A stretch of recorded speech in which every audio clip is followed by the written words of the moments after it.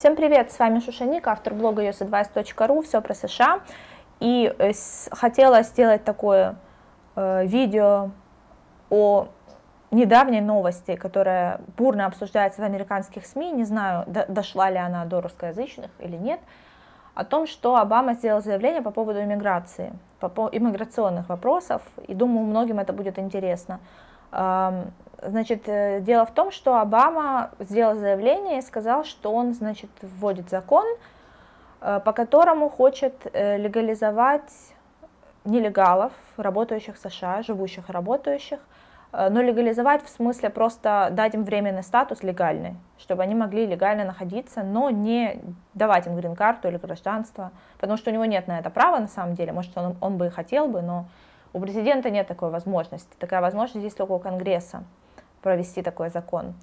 Э, и, значит, Обама э, объявил, что он хочет легализовать нелегалов, которые пребывают в США э, больше пяти лет уже, и у которых есть дети, рожденные в США, то есть дети граждане США. Эм, то есть он им хочет дать временный статус, по которому они могут легально работать, платить налоги и так далее. Это вызвало бурю негодования в, в политике американской, потому что э, политики, конгрессмены начали говорить, что у Обамы нет такого права, он вообще превышает свои полномочия, и это дело Конгресса решать такие вопросы. Э, не знаю, на самом деле, есть у Обамы такие полномочия или нет, но действительно предоставить вид на жительство или гражданство имеют право, в таком случае имеет право только Конгресс. И я думаю, что многие боятся того, что, как это было уже несколько раз в американской истории, что это первый шаг к тому, чтобы легализовать эти, э, к тому, чтобы как бы, сделать этих нелегалов гражданами США в конечном итоге. Эм, не знаю, чем это все закончится. Есть многие сторонники и противники этого.